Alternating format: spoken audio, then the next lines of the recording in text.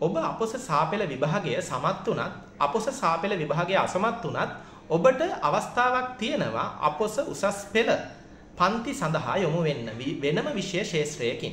ඉතින් අද වීඩියෝ එකෙන් මම කතා කරන්න බලාපොරොත්තු වෙන්නේ මේ ගැන. ඉතින් රැඳී ඉන්න ද කෝච YouTube channel එක සමගින් අපි කතා කරමු මොකක්ද මේ අලුත් විෂය ශාස්ත්‍රය ඒ වගේම කොහොමද මේ ශාස්ත්‍රයට ඔබ ඇතුළත් වෙන්නේ කියන කාරණාව පිළිබඳව.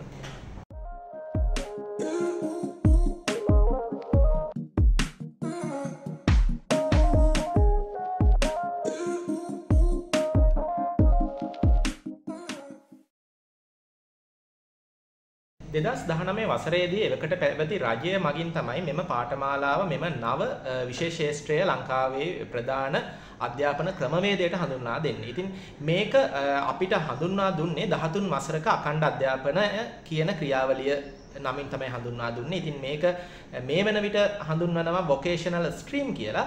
ඔයා දන්නවා අපි සාමාන්‍යයෙන් අපි අපොස සාපෙළ විභාගයට මුහුණ දුන්නොත් ලංකාවේ බහුතරයක් බහුතර පිරිසක් අපොස සාපෙළ විභාගයේ සමත් වෙනවා වගේම යම්කිසි පිරිසක් අපොස සාපෙළ විභාගයේ අසමත් වෙනවා. ඉතින් අපොස සාපෙළ විභාගයේ යම්කිසි පුජ්‍යලයක් අසමත් වුණොත් ගොඩක් වෙලාවට දැනට අවුරුදු 5කට විතර කලින් ගොඩක් වෙලාවට ඔප්ෂන් එකක් තිබ්බේ නැහැ. අනිවාර්යෙන්ම එක්කෝ Taman වෙනත් පුජ්‍යලික ආයතනයක නැත්නම් යම්කිසි අධ්‍යාපන ආයතනයක පාඨමාලාවක් හදාරන්න ඕන නැත්නම් කෙලින්ම ඔබ රැකියාව සඳහා රැකියාවක් සඳහා යොමු වෙන්න ඕනේ. ඉතින් අද එතකොට ඒ කියන්නේ Tamanට A level තමන්ගේ පාසල් ජීවිතය එතන උසස් සාමාන්‍ය පෙළෙන් අවසන් වෙනවා. නමුත් අද වන විට පාසල කියන ඒකකය මගින් අපස සාපෙළ විභාගයෙන් ළමයෙක් නතර නොකොට එතනින් එහාට යම්කිසි වෘත්තීය ශාස්ත්‍රයක් ඔස්සේ යම් ගමනක් ඔහුව එක්ක ගමන් කිරීමට පාසල් අධ්‍යාපන ක්‍රමවේදය අද ඒ සම්බන්ධ සම්බන්ධයෙන් නැඹුරු වීමක් දක්වලා තියෙනවා. ඉතින් ඒකේ ප්‍රතිඵලයක් විදිහට තමයි 2019 වසරේදී මෙම පාඨමාලාව නැත්තම් මේ අලුත් විශේෂේත්‍රය ලංකාවේ අධ්‍යාපන ක්‍රමවේදයට හඳුන්වා දෙන්නේ. ඉතින් මේ ක්‍රමවේදය ගැන කතා කරනකොට මේ ක්‍රමවේදයේ තියෙන විශේෂත්වය තමයි ඔබට සස්පෙල් අප සාපේල විභාගයේ අසමත් වුණත් ඒ වගේම ඔබ විෂය සාපේල විභාගයේ සමත් වුණත් ඔබ කැමති නම් මේ විෂය ධාරාවට යොමු වෙන්න පුළුවන්. ඉතින් මේ විෂය ධාරාව යටතේදී ඔබව රාජ්‍ය විශ්වවිද්‍යාලයකට ඇතුළත් වීමක් සිදුවන්නේ නැහැ. ඒ වගේම ඔබට මේ විෂය ධාරාව උගන්වන කාල සීමාව ඇතුළත ඔබට විභාගවලට මුහුණ දීමට අවශ්‍යතාවයක් වෙන්නේ නැහැ. විශේෂයෙන්ම මෙහිදී සිදුවෙන්නේ ඔබගේ තියෙන ඔබට වෘත්තීය ශාස්ත්‍රය යම්කිසි වෘත්තීය වෘත්තීමය කුසලතාවයන් ඔපනංවන යම්කිසි වෘත්තීය ශාස්ත්‍රයක් ඔස්සේ දැනුම ඔබට ලබා දෙනවා. ඒ දැනුම ඔබගේ දැනුම දියුණු කරමින් ඔබ යම්කිසි විශේෂ ශාස්ත්‍රයකට වෘත්තිමය ශාස්ත්‍රයකට ඔබ යොමු කිරීමක් තමයි මෙහිදී සිදුවෙන්නේ. මේ විශේෂේත්‍රය ගැන කතා කරනකොට මේ විශේෂේත්‍රය ලංකාවේ තියෙන සියලුම පාසල්වල මේ වෙන විට ක්‍රියාත්මක වන්නේ නැහැ. ලංකාවේ ඒ කියන්නේ දැන් මම මේ වීඩියෝ එක රෙකෝඩ් කරන මොහොත වෙන විට ඒ කියන්නේ 2023 අගෝස්තු මාසය වෙන විට ලංකාවේ පාසල් 525ක පමණයි මේ පාඨමාලා මේ විශේෂේත්‍රය ක්‍රියාත්මක වෙන්නේ. ඒ වගේම තමයි මේ විශේෂේත්‍රය හදාරන ළමුන්ට ඊට විශේෂ විශේෂිත පහසුකම් පාසල මගින් සපයනවා. ඉතින් අපි දන්නවා අපි අහලා තියෙනවා ස්මාර්ට් ක්ලාස්රූම් කියන කන්සෙප්ට් එක ගැන. ඒ කියන්නේ පන්ති කාමරය තුල මේ මේ විෂය ධාරාව ඔස්සේ 13 වසර දක්වා අධ්‍යාපන කටයුතු කරගෙන යාමට බලාපොරොත්තු වන සිසුන්හට විශේෂිත වූ පන්ති කාමර පාසල මගින් සපයනවා. ඉතින් මේ පන්ති කාමරය තුල ස්මාර්ට් ඩිවයිස් ගොඩක් පාවිච්චි වෙනවා. උදාහරණයක් විදිහට ගත්තොත් ස්මාර්ට් බෝඩ්, ඒ වගේම ප්‍රොජෙක්ටර්ස්, කම්පියුටර්ස් වගේ ගොඩක් ස්මාර්ට් ඩිවයිස් පාවිච්චි වෙනවා තාක්ෂණය සමග තමයි ඔවුන්ගේ වෘත්තිමය අධ්‍යාපනය ඉදිරියට ගෙන යන්නේ. ඉතින් මේ ගැන කතා කරනකොට තවත් විශේෂ කාරණාවක් තමයි මේ පාඨමාලාව මේ මේ විශේෂ ශාස්ත්‍රයේ අවුට්ලයින් එක මොකද්ද කොහොමද මේ විශේෂ ශාස්ත්‍රය ඉදිරියට 12 ශ්‍රේණිය සහ 13 ශ්‍රේණිය ඔස්සේ ගලාගෙන යන්නේ කියන කාරණාව පිළිබඳව. ඉතින් 13 වසර සහ 12 12 වෙනි වසර අපි කියනවා grade 12 grade uh, 13 කියලා. එතකොට පළවෙනියටම 10 uh, ශ්‍රේණියෙන් 11 ශ්‍රේණියෙන් uh, සාමාන්‍ය පෙළ විභාගයෙන් අවසන් වන ශිෂ්‍යයෙක් තමන්ගේ ප්‍රතිඵල ලැබුණු විකස තමන්ට පුළුවන් මේ පාසල් තමන් මේ වෘත්තීය විශේෂේෂ්ත්‍රය ඔස්සේ ඉදිරියට ගමන් කරන්න කැමති නම් මේ සම්බන්ධව පාසලෙන් අහලා ඒක මම දැනගන්න පුළුවන්. ඒ ඔස්සේ ඔහුට පුළුවන් අයිදුම් පත්‍රයක් යොමු කරන්න මේ මෙම විශේෂේෂ්ත්‍රයේ පවතින පාසලකට. ඉතින් මේ විශේෂේෂ්ත්‍රයේදී 12 ශ්‍රේණිය සහ 13 ශ්‍රේණිය විශේෂයි 12 ශ්‍රේණියේදී ප්‍රධාන වශයෙන්ම මාස 6ක 6ක් විදියට මාස 6න් 6ට කොටස් දෙකක් ක්‍රියාත්මක වෙනවා. ඒ කියන්නේ 12 ශ්‍රේණියේ පළවෙනි මාස 6 සහ 12 ශ්‍රේණියේ දෙවන මාස 6 විදියට. එතකොට එහිදී ප්‍රධාන වශයෙන්ම පාසලට ඔවුන්ව ඇතුළත් කරගත්තට පසුව 12 ශ්‍රේණියේ පළවෙනි මාස 6ේදී මෙම විෂය ශාස්ත්‍රය ඔස්සේ පාසලට ඇතුළත් වෙන ශිෂ්‍යයින්ට ප්‍රධාන විෂයන් 9ක් ඔස්සේ ඔවුන්ට ඉගැන්වීම් කටයුතු පාසල තුල සිදු කරනු ලබනවා. ඉතින් මේ ශාස්ත්‍රයන් මොනවද කියලා මම මේ වෙලාවේ වාට ඩිස්ප්ලේ එකේ බලන්න පුළුවන් වේවි ස්ක්‍රීන් එකේ බලන්න පුළුවන් වේවි මොන වගේ විශේෂ ශාස්ත්‍රයන්ද මේ පළවෙනි මාස 6 දී ඔයාට ඉගෙන ගන්න ලැබෙන්නේ කියලා. ඉතින් මේ විශේෂ ශාස්ත්‍රයන් ඔස්සේ ඔබට පුළුවන් වෙනවා ඔයාගේ ඔබගේ තියෙන soft skill develop කරගන්න. ඒ වගේම විවසායකත්ව සංවර්ධනය කරගන්න පුළුවන්. ඒ වගේම ඔබගේ ආකල්ප සංවර්ධනය කරගන්න පුළුවන්. ඒ වගේම රසාස්වාදයේ సౌందර්යය හා රසස්වාදය පිළිබඳ ඔබගේ තියෙන ආකල්ප මේ සංවර්ධනයක් කරගන්න පුළුවන්. ඒ වගේම මෙහි තියෙන සමහර සබ්ජෙක්ට් ඔස්සේ ඔබට පුළුවන් ටීම් වර්ක් බිල්ඩ් අප් කරන්න ඒ වගේම තමන්ගේ මව් භාෂාවට අමතරව තවත් ප්‍රධාන භාෂා දෙකක් ඉගෙන ගැනීමට හැකියාව ඔබට ලැබෙනවා. ඒ වගේම තමයි තොරතුරු තාක්ෂණය හා sannivedana තාක්ෂණය පිළිබඳව ඔබගේ තියෙන දැනුම වැඩි දියුණු කරගන්න පුළුවන් වෙනවා. ඒ වගේම ජීවන කුසලතා උපනැංවීම තුළින් ඔබගේ අර සමාජ යහපැවැත්ම වැඩි දියුණු කර ගැනීමට මෙම මාස 6 කාල සීමාව පුරාවට ඔබට අවස්ථාව ලැබෙනවා පාසලේ මේ සම්බන්ධ විශේෂිත වූ කාර්ය මණ්ඩලයක් ගුරු මණ්ඩලයක් සමගම. ඉතින් පළවෙනි මාස 6 අවසන් වුණාට පස්සේ ඔබට ලැබෙනවා සබ්ජෙක්ට් 26ක්. ඒ කියන්නේ විෂයන් 26ක් ඔබට තෝරා ගැනීමට. ඉතින් මේ විෂයන් සබ්ජෙක්ට් 26ම ඔබට කරන්න අවශ්‍ය නැහැ. ඒ සබ්ජෙක්ට් 26න් ඔබ සබ්ජෙක්ට් තුනක්, ඒ කියන්නේ විෂයන් තුනක් අනිවාර්යෙන්ම ඔබ තෝරා ගන්න ඕන දෙවන මාස 6 සඳහා. ඒ කියන්නේ 12 වෙනි ශ්‍රේණියේ දෙවන මාස 6 සඳහා ඔබ ඒ ලබා දීලා තියෙන සබ්ජෙක්ට් 26න් සබ්ජෙක්ට් තුනක් තෝරගන්න ඕන.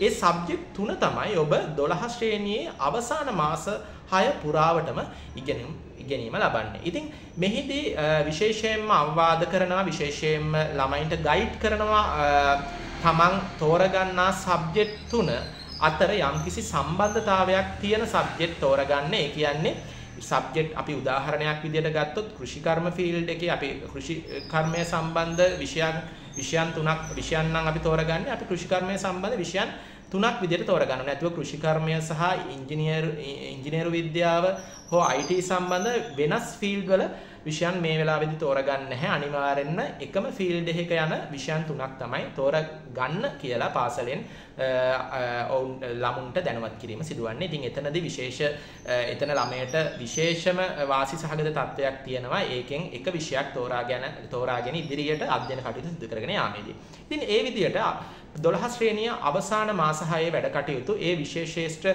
තෝ තමන් තෝරා ගන්න ලබන විශේෂේෂ්ත්‍ර තුන ඔස්සේ සිදු වෙනවා. ඉතින් මෙහිදී විශේෂයෙන්ම කියන්න ඕන පාසල්වල මේ සබ්ජෙක්ට් 26ම ක්‍රියාත්මක වෙන්නේ නැහැ බොහෝ පාසල්වල සමහර වෙලාවට සබ්ජෙක්ට් 20යි සමහර වෙලාවට සබ්ජෙක්ට් 15යි ඒ විදිහට යම් යම් ඒ කියන්නේ කාර්ය මණ්ඩලයේ සඳහා පුහුණු ගුරු මණ්ඩලයගේ ප්‍රමාණය මත ක්‍රියාත්මක වෙන සබ්ජෙක්ට් ගාන වෙනස් වෙනවා. ඉතින් කෙසේ වෙතත් ඔබට මේ පාසලේ ක්‍රියාත්මක වෙන සබ්ජෙක්ට් වලින් සබ්ජෙක්ට් ප්‍රමාණයෙන් ඔබ සබ්ජෙක්ට් තුනක් තෝරා ගැනීම අවශ්‍යයි දෙවන 12 ශ්‍රේණිය දෙවන මාස 6 අධ්‍යයන කටයුතු සිදු කරගෙන යාම සඳහා. ඉතින් විශේෂයෙන් මතක තියාගන්න ඕන මේ කිසිම මොහොතක ඔබට විභාගයකට මුහුණ දීමට අවශ්‍ය වන්නේ නැහැ. නමුත් ඔබව ඇගීම් ක්‍රියාවලියකට භාජනය කරවාවි. ඉතින් මේ විදිහට ඔබගේ අධ්‍යයන කටයුතු කරගෙන යන්න පුළුවන්. ඉන්පසු ඔබ 12 ශ්‍රේණිය සම්පූර්ණයෙන්ම අවසන් කරනවා. ඉතින් 12 ශ්‍රේණිය සම්පූර්ණයෙන්ම ඔබ අවසන් කරනකොට නිල වශයෙන් ඔබට තියෙන පාසල් කාලය එතනින් නිමා වෙන්න නිමා වෙනවා. මොකද 12 ශ්‍රේණියෙන් පස්සේ ඔබව යොමු කරවන්නේ වෘත්තීය පුහුණු ආයතනයකට.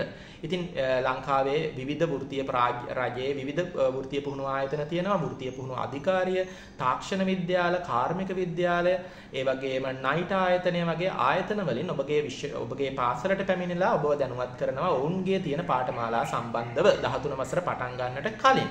ඉතින් එතකොට ඔබගේ ඔබ තෝරාගෙන තියෙන විශේෂ ශාස්ත්‍රයට අනුකූලව ඔබට පුළුවන් එම ආයතන සමග සම්බන්ධ වෙන්න. උදාහරණයක් විදිහට ඔබ කුෂිකර්ම ශාස්ත්‍ර සහායක කියන පාඨමාලාවක සම්බන්ධ වෙලා තියෙනවා නම් ඔබට පුළුවන් කුෂිකර්ම සම්බන්ධව පාඨමාලා ක්‍රියාත්මක වෙන වෘත්තීය පුහුණු ආයතනයක් සමග සම්බන්ධ වෙන්න.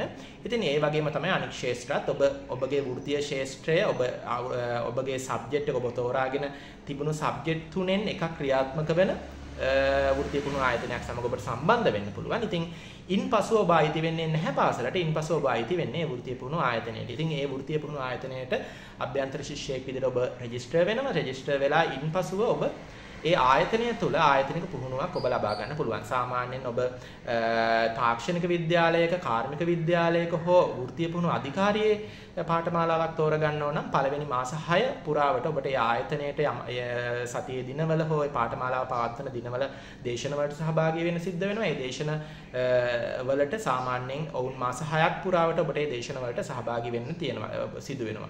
එතකොට 13 වසර 13 වසර පළවෙනි මාස 6 ඔබට ඒ සඳහා වැය කරන්න සිද්ධ වෙනවා. ඔබ හැබැයි නයිට් ආයතනයේ පාඨමාලාවක් තෝරගන්නවා නම් නයිට් ආයතනයෙන් ඔබව ඔබව ඔබගේ වෘත්තීය ශාස්ත්‍රය ප්‍රායෝගිකව ප්‍රැක්ටිස් වෙන ප්‍රායෝගිකව ක්‍රියාත්මක වෙන පුහුණු මධ්‍යස්ථානයකට නැත්තම් ඉන්ඩස්ට්‍රි එකකට තමයි ඔබ යොමු කරන්නේ මොකද ඔවුන්ගේ ප්‍රධාන පුහුණු කිරීම මුහුණුවර වෙන්නේ EBT Enterprise Based Training. එතකොට ඔබ පළවෙනි මාස 6 පන්ති කාමරය තුල රැඳෙන්නේ නැහැ. පළවෙනි මාස 6 පවා ඔබ ඉන්ඩස්ට්‍රියල් ට්‍රේනින් එකක තමයි ඉන්නේ.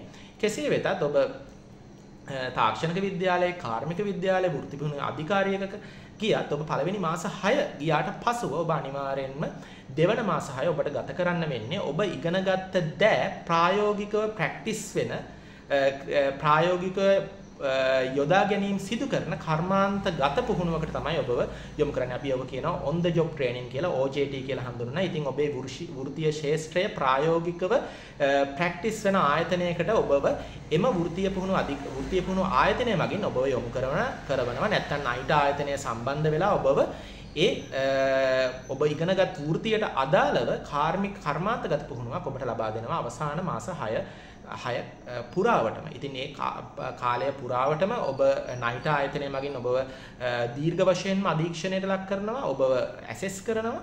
ඉතින් ඒත් එක්කම 13 වසර පළවෙනි මාස 6 සහ දෙවන මාස 6 අවසන් වෙනවා. අවසන් වුණාට පසුව ඔබව නයිට් ඔබව NMQ අවසන් විභාගය සඳහා යොමු කිරීම සිදු වෙනවා. ඉතින් NMQ අවසන් විභාගයට අවශ්‍ය data form යොමු කරලා ඔබව NMQ විභාගයට යොමු කරනවා. ඉතින් මේ ක්‍රියාවලිය තමයි 13 වසරක අඛණ්ඩ අධ්‍යාපන ක්‍රමවේදය නැත්නම් අපි කියනවා vocational stream එක කියලා කියන්නේ. ඉතින් මේකේ තියෙන විශේෂත්ව විශේෂ වැදගත්කම තමයි පාසලෙන් එළියට යනකොට 13 වසරක අධ්‍යාපනය අවසන් වෙනකොට යම්කිසි විශේෂ ශේෂ්ත්‍රයක් පිළිබඳ ඔබට හොඳ දැනීමක් ඇති පුජ්‍යලයක් බවට ඔබව පරිවර්තනය වීම. ඒ වගේම තමයි ඔබට අවශ්‍ය නම් NMQ ඒ කියන්නේ ඔබ NMQ4 විභාගයට යොමු කරාට පස්සේ 13 වසර කාලය අවසන් වුණාට පස්සේ ඔබ NMQ විභාගයට යොමු කරාට පස්සේ ඔබ NMQ විභාගයේ සමත් වුණොත් ඔබට NMQ4 qualification එක ලැබෙනවා. අද NMQ framework එක ගත්තොත් NMQ ක්‍රමවේදය සහ සාම්ප්‍රදායික අධ්‍යාපන ක්‍රමවේදය එකට අරගෙන කතා කරනවා. සාමාන්‍යයෙන් NMQ level 3 කියලා හඳුන්වන්නේ ඒ විෂයට අදාළ වන ලෙස O level සමත් මට්ටම NMQ4 කියලා හඳුන්වන්නේ එම විශේෂේෂ්ත්‍රයට අදාළව A level සමත් මට්ටම.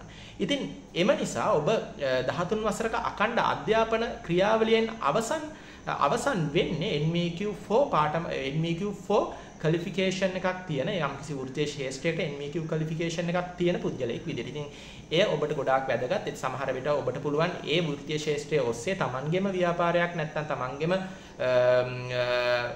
තමන්ගේම දෙයක් පටන් ගන්න නැත්නම් තමන්ට පුළුවන් තමන් කැමති නම් මේ ශාස්ත්‍රය පිළිබඳව තවදුරටත් තමන්ගේ දැනුම දියුණු කරගන්න ඔබට පුළුවන් NMQ 5 6 කියන පාඨමාලාවලට ඒ විශේෂ ශාස්ත්‍රයේම ඔස්සේ ඇතුළත් වෙන. අද වෙනකොට ලංකාවේ තියෙනවා තාක්ෂණ විද්‍යාල, කාර්මික විද්‍යාල බොහොමයක ක්‍රියාත්මක වෙනවා NMQ 5 6 පාඨමාලා. NMQ 5 6 කියන්නේ National Diploma, High National Diploma.